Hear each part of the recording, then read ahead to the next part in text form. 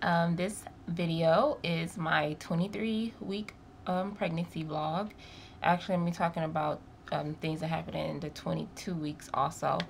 Um, so, I had a doctor's appointment and um, everything was good. I the baby, I took Adrian Elise with me and they got to hear the baby's heartbeat again. Baby's heartbeat was good also what else? Um i think i don't i don't know how much weight i've gained. I think i i'm still at like 15 pounds that i've gained so far. So that's good. There was no concern for anything. The doctor she always asks me do i have any concerns? But everything that i have a concern with is normal in pregnancy. And so i, I did talk to her about my heart rate which it's, it usually happens when I eat. I don't know. And she said maybe it's something I'm eating that it make my heart beat real fast, and then I'll, I get like pounding headaches. But she said, oh, that's probably just something eating. Of course, doctors never take anything that serious. But I didn't feel like it was anything really serious. I just wanted to let her know and see if she thought it was anything different. But uh, she wasn't too concerned and told her that I'm losing my breath, you know, like I can't catch my breath. Totally, that's totally normal. I already knew that that was normal because the uterus is pushing up all the other organs, and so my lungs are compressed and um, well, especially if I'm sitting down, I cannot breathe. Like right now, I'm having a hard time breathing. So it's like I have to keep taking a breath every time I talk. Um, but when I'm standing up, it's a little bit better. But if I'm moving a lot, it gets worse because I can't take deep breaths. So, and then she said that the fainting like feeling is probably because I can't take in deep breaths too, which I kind of already knew. Um, she also measured, this is the first time since this pregnancy that she actually measured the fundal height.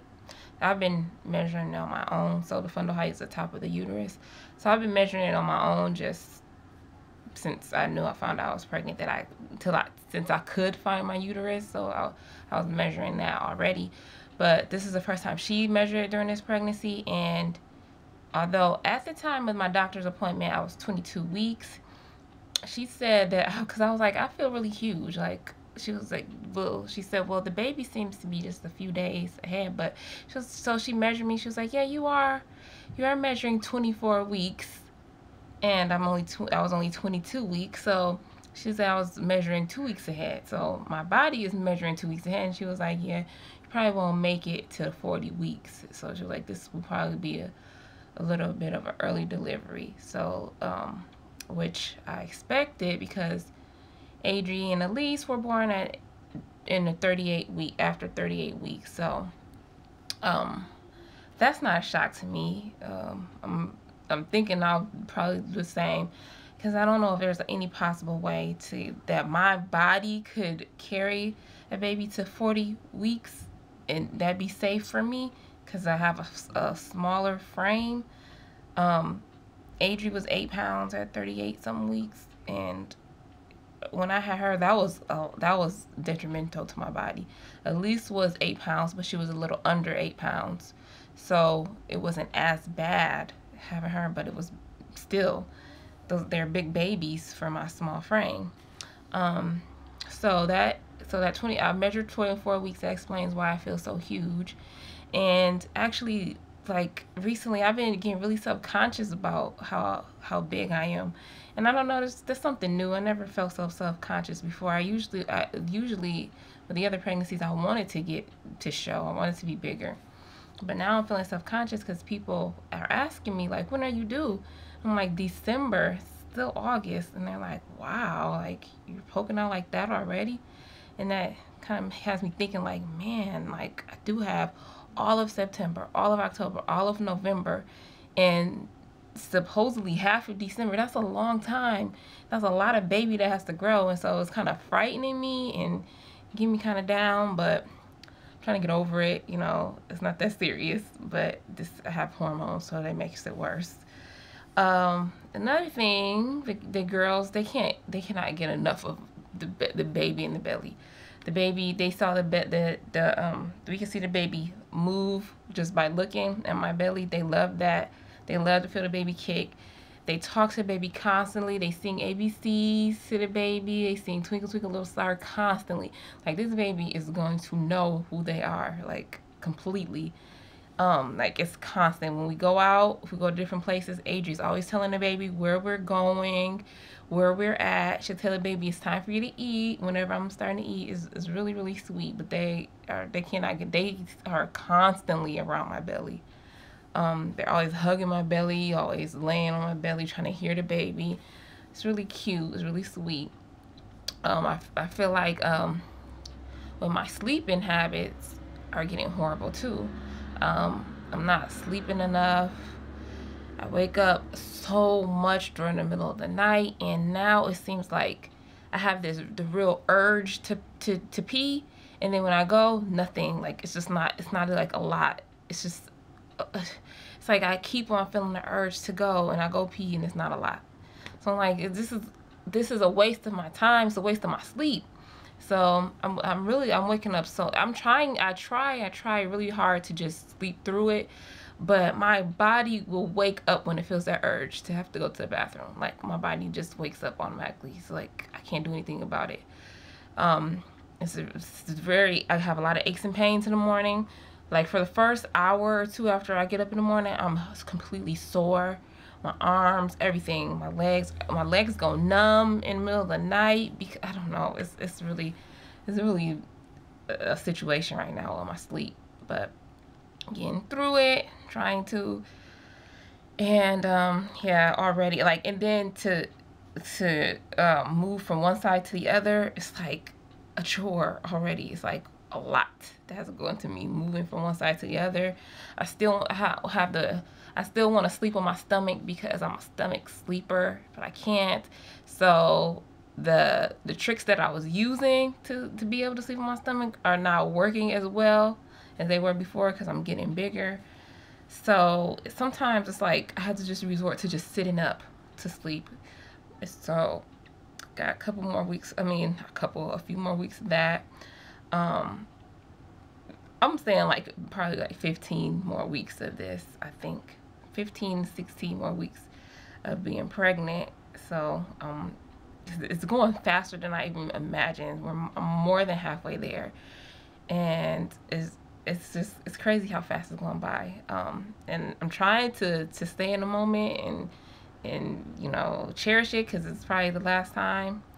Um but yeah it's a lot. It's a lot to do when I have two kids I have to run after and take care of and trying to get them the bath water ready is getting like impossible. I can't even lift them anymore.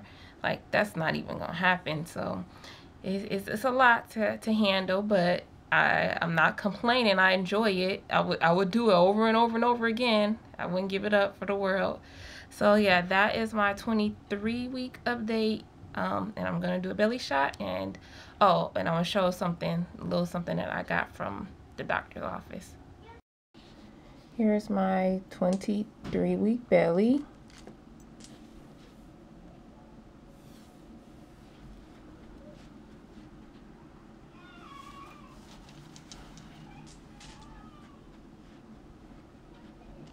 I actually can breathe today, but uh, probably temporary. But that's 23 weeks.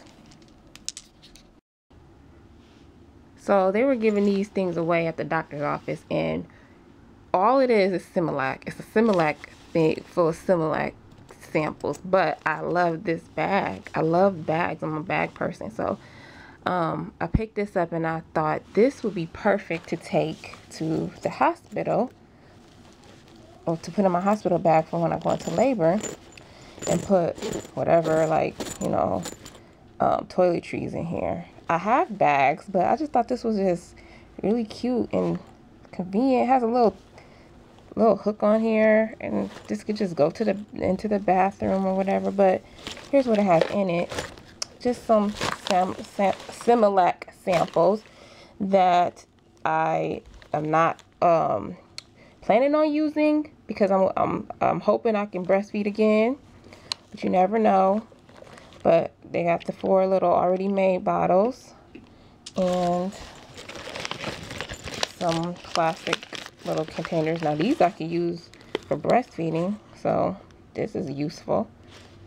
And some coupons and nipples, but like I said, I am really banking on breastfeeding, so I won't need this. But you never know.